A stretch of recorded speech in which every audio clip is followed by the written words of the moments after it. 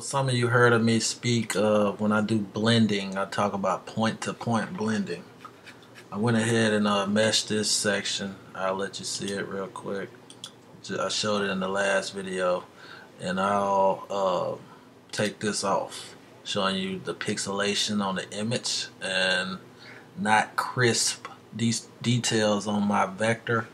And I will click on it, let you know that it is a gradient mesh uh, showed you a couple videos back uh, how I just showed you the process of me doing that side.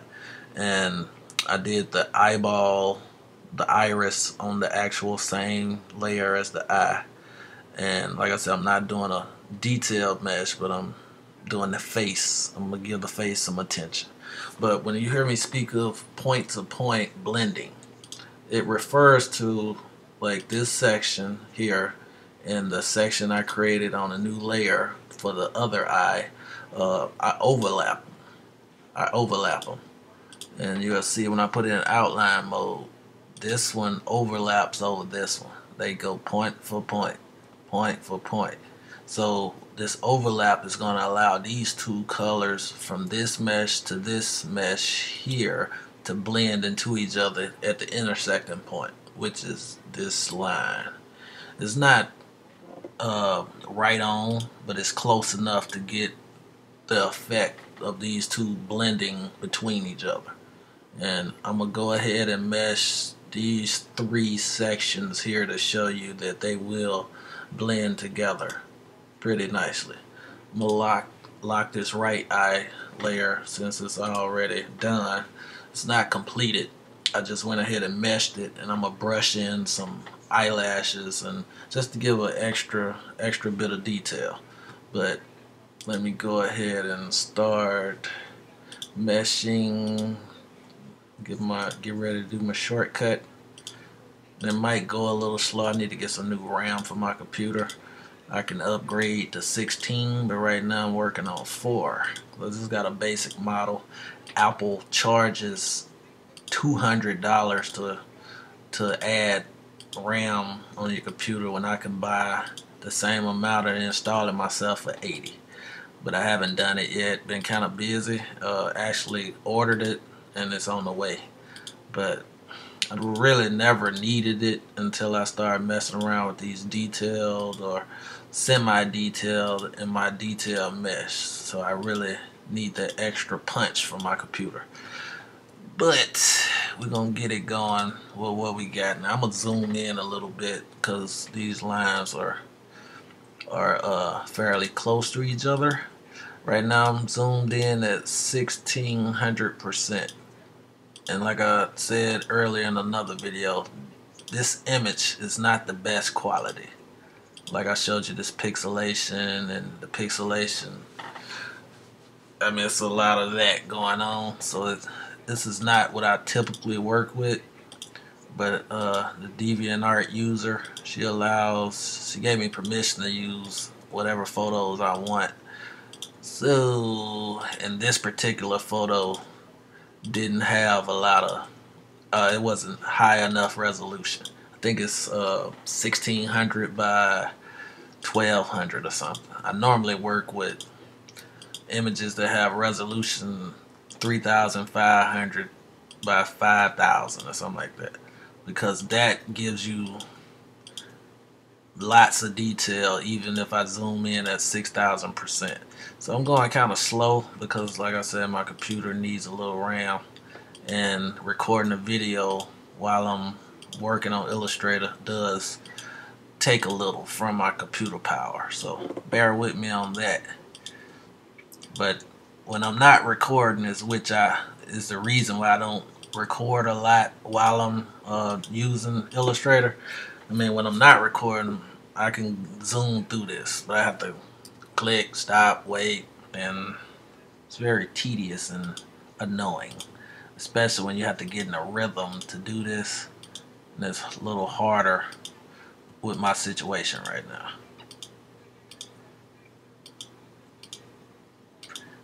So I'm just clicking and I got a little off here but I manually put the lines in. It is a way to not manually do it But I, on the left side of this section I'm working on, it had a had a couple of curves on it. Here, I didn't want to go through and manually fix every mesh line, so I just decided to go ahead and and put them in by hand. So I basically went from this, just click, click, click, click like that all the way until I had all my horizontal lines and I put the vertical lines in where I where I saw fit. So this is how the point-to-point -point blending works out because where I have uh, color already on this mesh side to the right I'm putting points at the same spot so it will be the same color at this area on this new mesh. So they would come out together equally the same. And it creates a nice uh, nice transition between the two mesh. Hopefully I can at least get one more row done before I stop this video and you guys are still here paying attention because this this is pretty boring.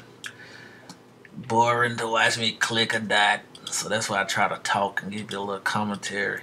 But unlike my past videos I've been recording then uh, recording my audio separately. I'm doing them together here. So if I talk slow or if I'm dragging that means I'm thinking and doing other things.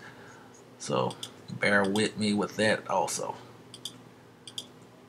I'm gonna try to spice up my videos a little bit try to add a little humor in there show my personality more because at home I'm more of a jokester but on these videos when I watch them myself I put myself to sleep so that's not good. If I'm boring myself, I know what I'm doing to you guys. But I'm glad you guys giving me feedback and um, responding and commenting on my videos. I mean, it's very helpful. And I'm glad that these videos are helping somebody. Because like I said, when I first started, nobody helped me. I was on DeviantArt. I, I joined DeviantArt to get help from uh, people on there that was already doing gradient mesh work. And I wrote 20, 30 people. I won't call out names or anything. That's not my style.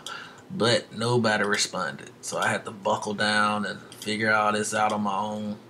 And I'm trying to give you guys a blueprint now, blueprint mean it helps you build the house, but you still gonna have to do some on your part, the thinking and making decisions, or where to put your mesh lines, and you're gonna have to still make decisions. So I'm not giving you everything, but I'm giving you enough to get you started, and you won't have to struggle like I did when I first tackled the mesh tool.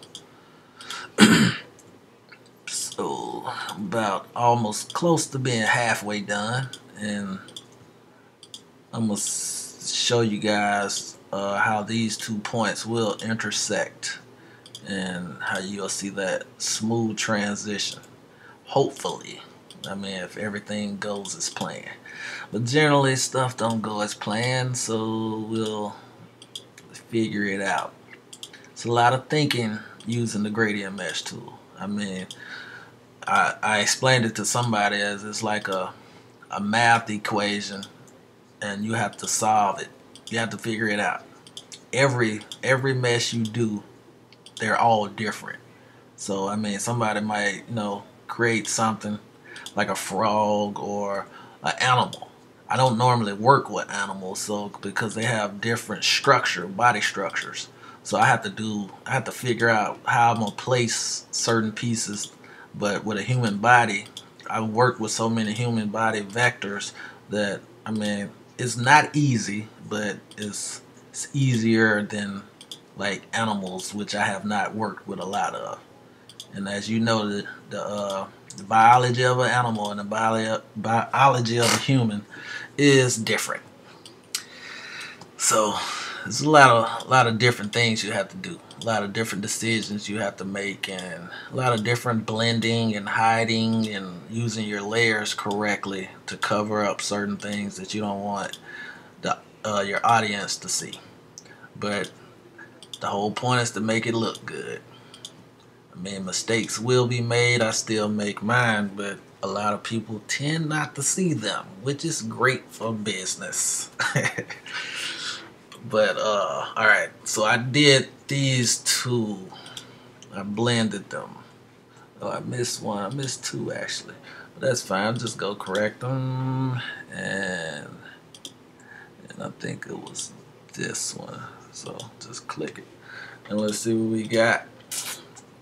So I went ahead and did these two as you see, I got a slight little something going on here.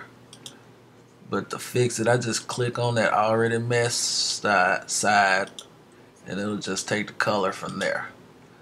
So, I mean, this will help with the transition. So it doesn't always work out perfectly, but